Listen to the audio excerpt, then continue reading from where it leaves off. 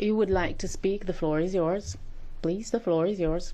Uh, thank you very much. Um, can you explain under what rule, under the rules of procedure, you as the chair are allowed to give editorial comment on the previous speaker's speech? Um, as the president and what would assume is a neutral chair, what rules give you the right to give editorial comment on what any member of this House says? Can you explain the rules that give you that power, please? Hát ha kíváncsi rá, Well, if you're interested, naturally, I can tell you.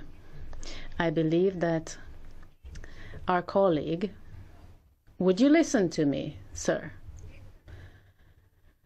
So, our colleague offended the president of the European Commission, and I don't think it is very polite in the European Parliament. Besides, it was not strictly relevant. You don't have the opportunity to keep talking.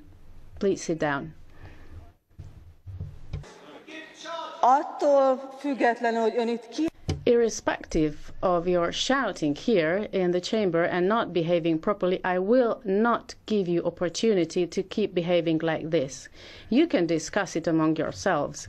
The next speaker is Mr. Martin. And besides, if you would like to keep shouting, I would suggest leaving the chamber.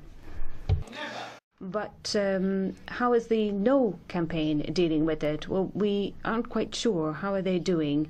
But it seems that uh, one of the things they're determined to do is to show Mr. Juncker's photo as often as possible. That they hope will be enough, because the uh, Dutch people know what that means. His photos. It means lies, lies, drinking, and yet more lies. So end of story but the Commission will probably thinks it is uh, smart enough to get a different result, a good result. But I can tell you that the Dutch people are much, much cleverer than that, and that will become clear very soon. Képviselő úr, higgy el, hogy a hozzá...